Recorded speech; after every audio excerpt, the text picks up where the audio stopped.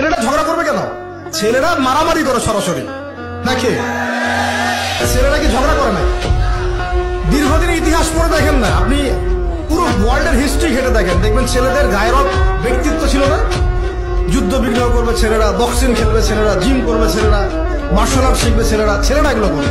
ছেলেরা চুলকা চুলকি ঝগড়া করে নাকি? চুলাচুলি করে নাকি ছেলেরা?